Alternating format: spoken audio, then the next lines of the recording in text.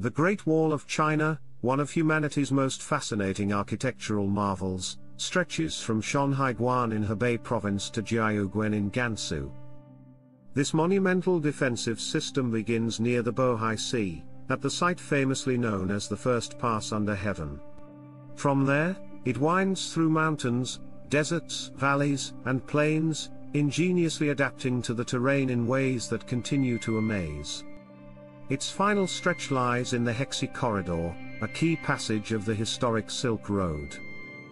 Originally constructed to shield the Chinese Empire from northern nomadic tribes, the wall was initiated during the reign of Qin Shi Huang, the first emperor of a unified China in the 3rd century BCE. This visionary leader ordered the unification and fortification of pre-existing walls to consolidate the empire's borders and symbolize its unity.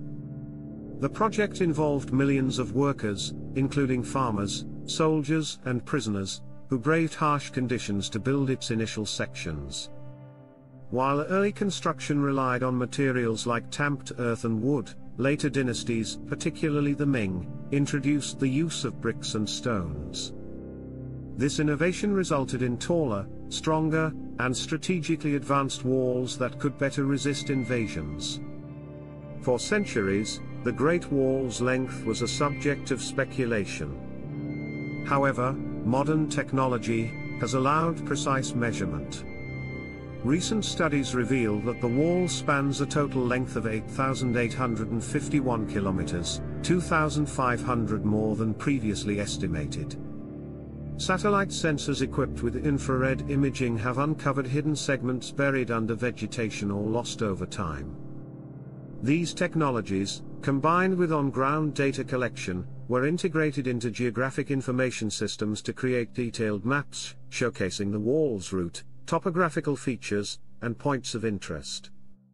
While the Great Wall is often associated with its defense mechanisms, it also served as a conduit for trade and cultural exchange.